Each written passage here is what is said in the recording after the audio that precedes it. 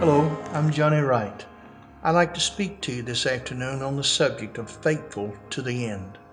The Bible tells us in 2 Timothy chapter 4 verses 6 and 7, Paul writing to young Timothy says this, For I am now ready to be offered, and the time of my departure is at hand.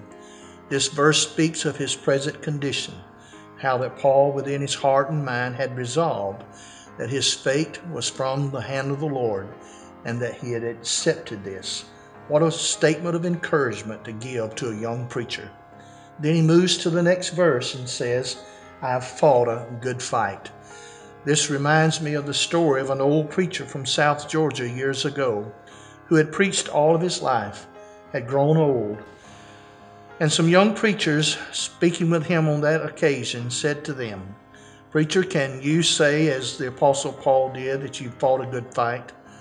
The old wise man, scratching his head, looked at him and said, Boys, I'm not sure that I can say that I have fought a good fight, but I do believe I can say that I have been in some good fights. Well, be that as it may, Paul said to Timothy, I have fought a good fight. And I think, ladies and gentlemen, that that's what you and I should be able to say and need to be able to say at the end of our lives that we have fought a good fight. He then said to Timothy that he had finished his course or the race that the Lord had set out for him back in the book of Acts, where he says to him that he would show him the things that he must suffer for the sake of Christ and the gospel. And then Paul ends it by saying, I've kept the faith.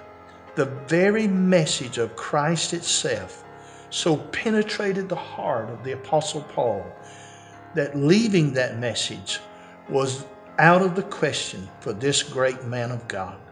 At the end of his life, he said to Timothy, I have kept the faith. Ladies and gentlemen, can you and I say that? Can we truly say at this point of our lives, we have been faithful all the way to the end? Thank you for listening. May God bless you.